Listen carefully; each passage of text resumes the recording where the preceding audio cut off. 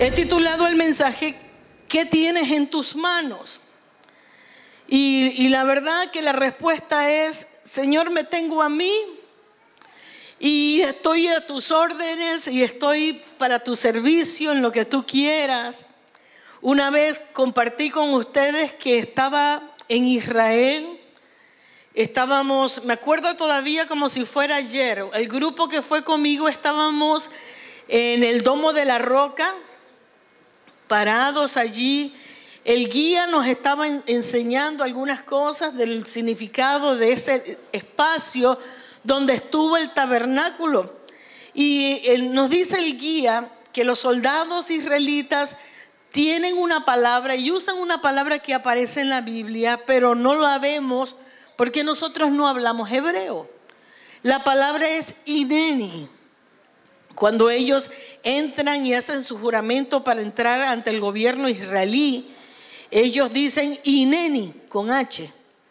Y un hermano de la iglesia le puso a su hija ese nombre, Ineni, y me escribió, me dice, mi hija se llama Ineni, basada en la prédica que yo hice el año pasado de Ineni. Ineni significa M aquí. Cuando Abraham, el Señor lo llamó, le dijo, Ineni, M aquí, aquí estoy. ¿Y cuántos de ustedes dicen Ineni, M aquí, Señor? Ineni, aquí estoy. Moisés, que va a ser el personaje de quien vamos a estar hablando hoy, Moisés había salido de Egipto, Moisés estaba ya en Madián, Moisés se había casado, habían pasado años, Moisés había sido un general del ejército egipcio, pero ahora Moisés estaba alejado de todo, en, en el desierto. Y habían pasado muchísimos años, casi 40 años. Moisés había quizás perdido sus costumbres finas de, estar dentro de un palacio. Y ahora Moisés estaba en lo que era el desierto. Mire qué interesante. Dios no llamó a Moisés mientras Moisés estaba rodeado de lujos en el palacio, sino que registra la Biblia que Dios lo llamó por medio de una zarza que ardía cuando Moisés estaba en el desierto. Alguna persona pudiera decir, bueno, es que eh, Dios llama, lo llama a uno cuando está en apuros. No necesariamente. Dios todo lo planea. Y Dios lo llama a uno cuando el corazón de uno está listo para escuchar la voz de Dios. Moisés cuando era un niño, su madre, su hermana, su padre, tuvieron la dicha también de atenderles, porque la princesa, la hija del faraón, le permitió a, ellos cuidar de Moisés. Y estoy segura que le hablaron de Dios, pero un Dios lejano, un Dios que quizás él no había experimentado mucho acerca de Dios. Dios no está lejano, Dios está cerca de nosotros. Tú tienes que guardar, si no estás con tu burbuja familiar, tienes que guardar dos metros de distancia. Pero Dios no tiene que mantenerse a la distancia tuya. Él puede estar allí dentro de tu corazón. Él puede estar contigo. Y está contigo si tú lo quieres así. Y en todo momento, 24 horas al día. Y Moisés estaba allí. Pero ahora yo lo que puedo ver de Éxodo 3, de Éxodo 4, es que ahora en realidad es que donde comienza la historia de Moisés con Dios. Y es importante que cada uno de nosotros, no importa la condición, la edad, la cantidad de años que tengamos en las cosas del Señor, nosotros aprendamos a tener una relación personal con Cristo Jesús. Es lo que Dios quiere para tu vida.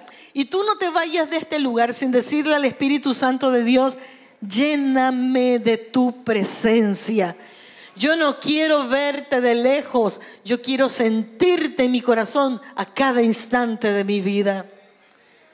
Moisés ahora iba a comenzar y nunca es tarde para comenzar.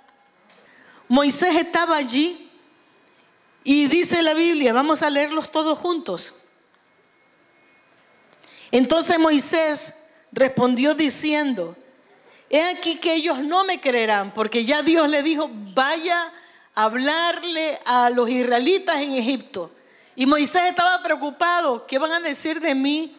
A ti no te preocupa lo que el hombre diga de ti, lo que la mujer diga de ti. Preocúpate lo que Dios dice de ti.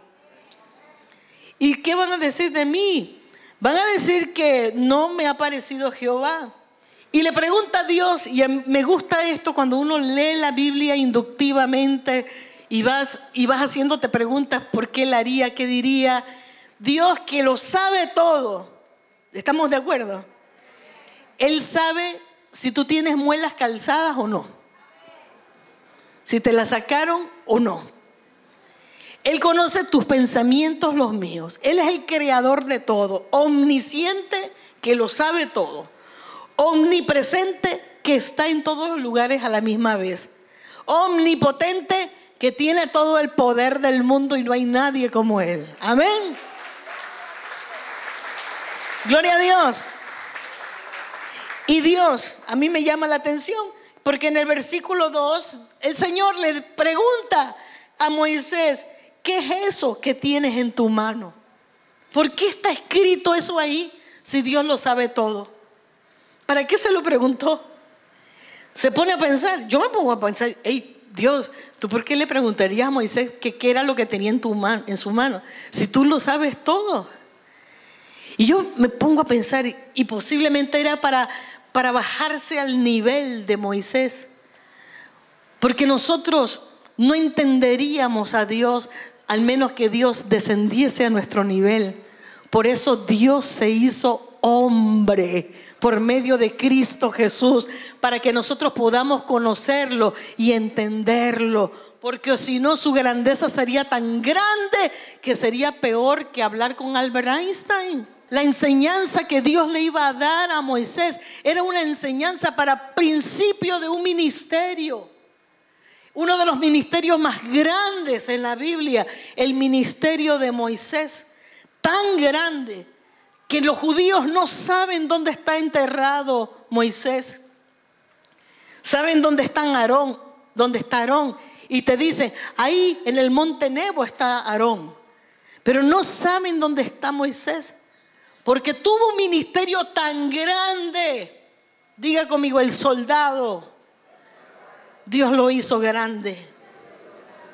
A ti también Dios te va a hacer grande. Aún en medio de estos tiempos. Dale el aplauso al Rey. Bendito sea el Señor.